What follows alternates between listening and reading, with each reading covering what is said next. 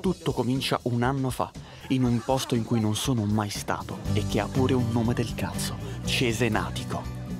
Marisa è stanca e non vuole andare al falò. Marica però insiste, dice che probabilmente al falò ci sarà Maurizio, conosciuto in spiaggia quella mattina stessa e molto apprezzato da Marica per il suo innegabile talento nel giocare a Ma non racchettoni. conosco neanche nessuno, dai, che cosa vengo a fare? Dai, stiamo solo mezz'ora. Lo sai quanto mi piace. Fallo per Se me. Marisa fosse stata più risoluta, io non sarei stato bocciato. Va bene, però stiamo solo mezz'ora. Raffaele detto Lello amava trascorrere le vacanze in giro con il suo furgoncino adibito a camper. L'obiettivo è arrivare in Marocco a ottobre e andare sempre più a sud a inseguire l'estate. In teoria avrebbe un mezzo appuntamento a Cervia con dei suoi amici di Berlino Ovest, ma arrivarci sembra abbastanza complicato. Lello, che faceva del fatalismo una ragione di vita, cambia i suoi piani verso un destino sconosciuto. Se Lello avesse seguito il piano originale, io non sarei stato bocciato.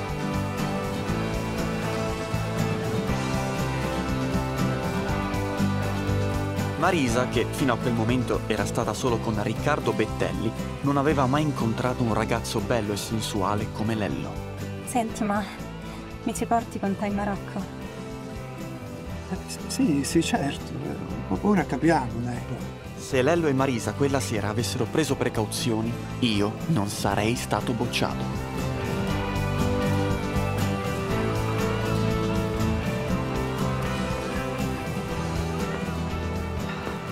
Sono proprio contento di questo furgone. La ringrazio davvero. Eh, tanti ricordi. Sì, eh? Magari gli cambio colore. Questo colore l'ho fatto per andare in Marocco, Ah, però faccia lei. no, no, per carità. eh, Sì, va bene così, lo tengo così. Grazie allora. Arrivederci. Arrivederci. Eh?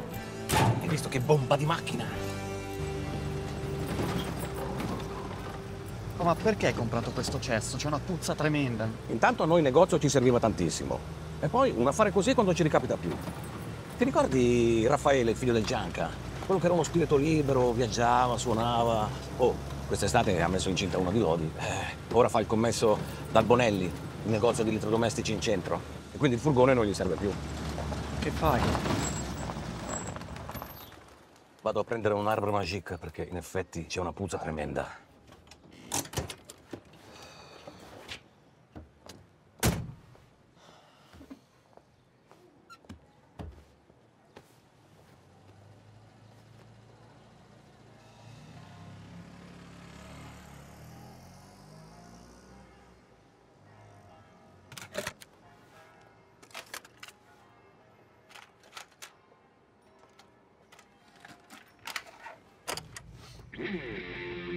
Se Marica non avesse convinto Marisa, se Lello non avesse mancato l'uscita, se avessero usato protezioni, ma soprattutto se Lello non avesse dimenticato la più bella cassetta del mondo nello stereo del furgone che ha venduto a mio padre, il punk non mi avrebbe cambiato la vita e io non sarei stato bocciato.